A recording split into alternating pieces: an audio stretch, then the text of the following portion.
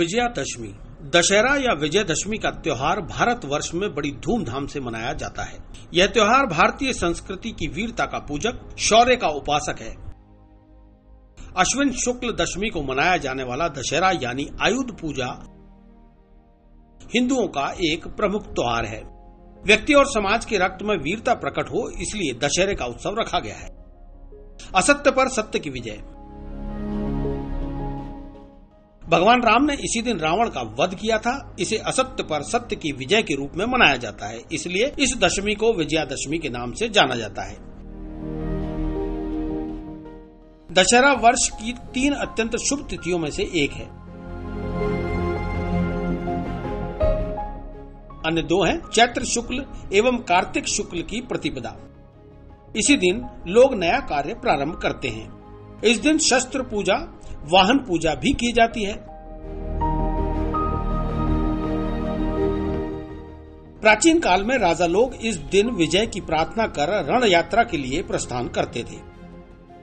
दशहरे का पर्व दस प्रकार के पापों, काम, क्रोध, लोभ, मोह, मद, मत्सर, अहंकार, आलस्य, हिंसा और चोरी जैसे अवगुणों को छोड़ने की प्रेरणा हमें देता है।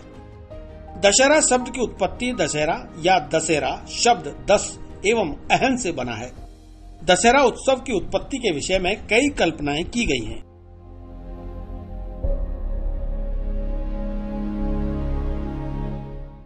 कुछ लोगों का मत है कि यह कृषि का उत्सव है। दशहरे का सांस्कृतिक पहलू भी है। भारत कृषि प्रधान देश है, जब किसान अपने खेत में सुनहरी फ़सल उगाकर अनाज रूपी संपत्ति घर लाता है तो उसके उल्लास और उमंग का ठिकाना नहीं रहता। इस प्रसन्नता के अवसर पर वह भगवान की कृपा को मानता है और उसे प्रकट करने के लिए वह उसका पूजन भी करता है।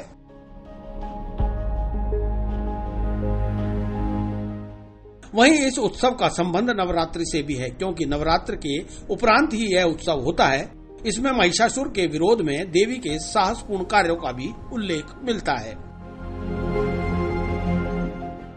राम और रावण का युद्ध। रावण भगवान राम की पत्नी देवी सीता का अपहरण कर लंका ले गया था। भगवान राम युद्ध की देवी माँ दुर्गा के भक्त थे। उन्होंने युद्ध के दौरान पहले नौ दिनों तक माँ दुर्गा की पूजा की और दसवें दिन दुष्ट रावण का वध किया। इसलिए विजयादशमी एक बहुत ही महत्वपूर्ण दिन है। राम की विजय के प्रतीक स्वरूप इस पर्व को विजयादशमी कहा जाता है। दशहरा पर्व पर मेले। दशहरा पर्व को मनाने के लिए जगह जगह बड़े मेलों का आयोजन किया जाता है। यहाँ लोग अपने परिवार, दोस्तों के साथ आते हैं और खुले आसमान के नीचे मेले का भरपूर आनंद लेते हैं।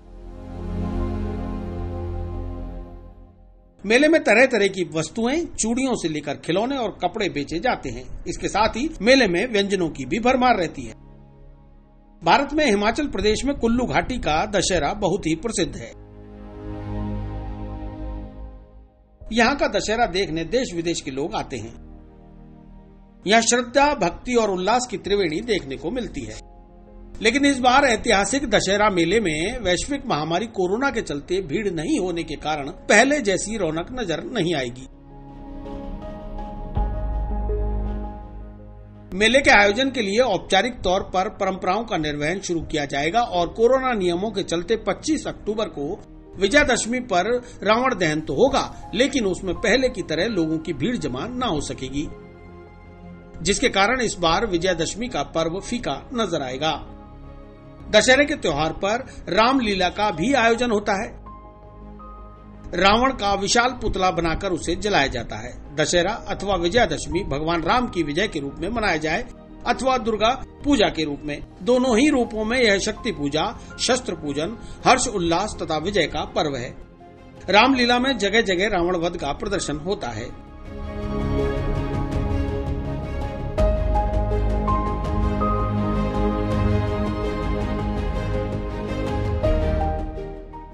शक्ति के प्रतीक का उत्सव, शक्ति की उपासना का पर्व, शारदे नवरात्रि प्रतिपदा से नवमी तक निश्चित नौ तिथि, नौ नक्षत्र, नौ शक्तियों की नवदा भक्ति के साथ सनातन काल से मनाया जा रहा है।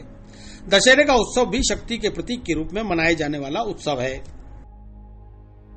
विजयादशमी का महत्व दशहरे का दिन अत्यंत शुभ माना जाता है। इस दिन मजदूर, श्रमिक लोग अपने काम के यंत्रों की पूजा करते हैं और लड्डू बांटकर खुशी ज़ाहिर करते हैं।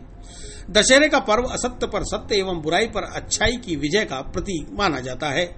इस दिन श्री राम ने बुराई के प्रतीक रावण का वध किया था। अतः हमें भी अपनी बुराइयों को त्याग कर, अच्छाइयों को ग्रहण करना चाहिए, तभी यह दिन सार्थक सिद्ध होगा।